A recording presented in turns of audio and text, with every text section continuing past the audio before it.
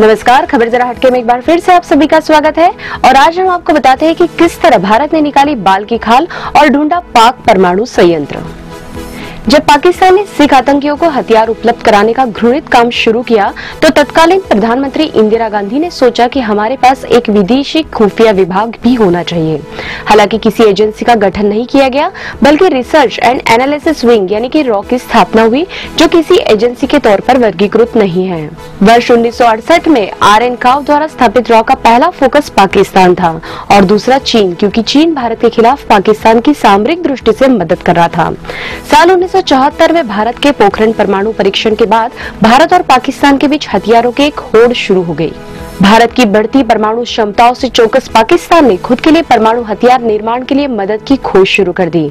जिस प्रकार से परमाणु संसाधन संयंत्र से अमेरिका और कनाडा ने भारत की मदद की, वैसे ही सत्तर के दशक में फ्रांस ने भी वही तकनीक उपलब्ध कराकर पाकिस्तान की मदद की।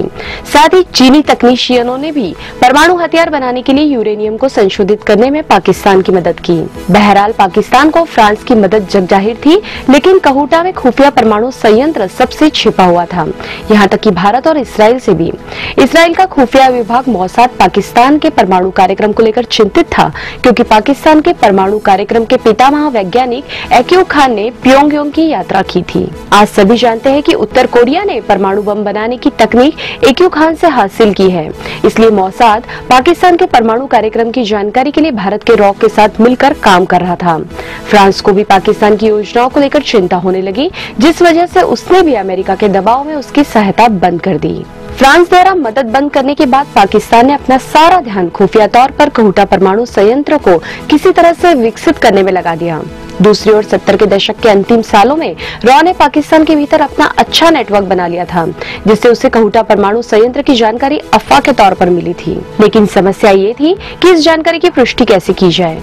परमाणु संयंत्र में घुसपैठ की कोशिश में सालों लग सकते थे और वह मूर्खतापूर्ण भी हो सकता था। यह इस बात को ध्यान में रखना ज़रूरी है कि पाकिस्तान ने इस अभियान को इतना गुप्त रखा था कि रॉ को भी इसकी जानकारी अफवाहों के ज़रिए मिली थी।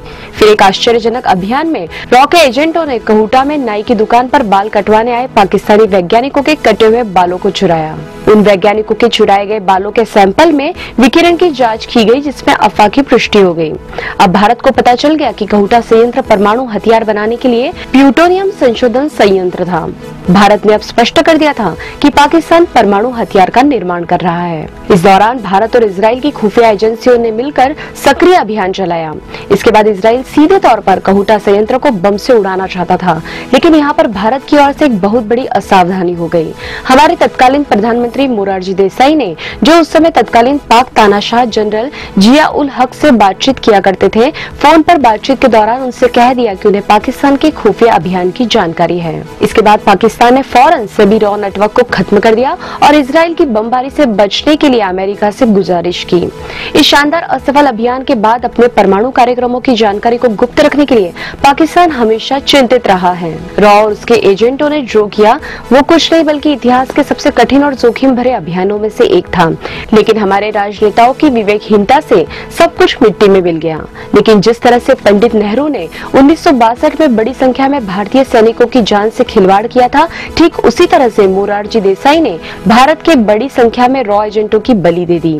ये हमारे देश के राष्ट्र नायक है, जो कि राष्ट्र के बारे में भी अच्छी तरह से नहीं सोचते हैं। कहा तो ये भी जाता है कि मोरारजी भाई द्वारा असावधानी वश दी गई इस सूचना के चलते ही बाद में उन्हें पाकिस्तान के सबसे बड़े सम्मान निशाने पाकिस्तान से नवाजा गया था।